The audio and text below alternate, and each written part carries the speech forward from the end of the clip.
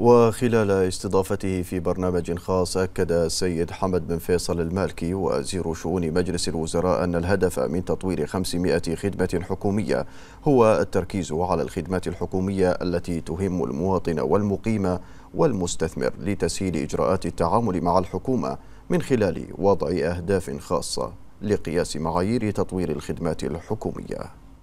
بخصوص ال 500 خدمة اللي تم إطلاقها أو الإعلان عنها في آه، ديسمبر 2023 بتوجيه من مجلس الوزراء كان آه، الهدف منها انه يكون في تركيز على خدمات حكومية تهم المواطن بشكل مباشر وتهم المقيم والمستثمر وتسهل من الإجراءات وتعاملهم مع الحكومة. وتم وضع أهداف خاصة للتأكد من أن يكون في قياس لعملية التطوير من خلال آه، تحديد مؤشرات أداء يتم قياسها والتأكد منها عند تطوير أي خدمة آه، فعلى سبيل المثال آه، كان في هدف أن عدد المستندات المقدمة لأي خدمة حكومية يجب أن تكون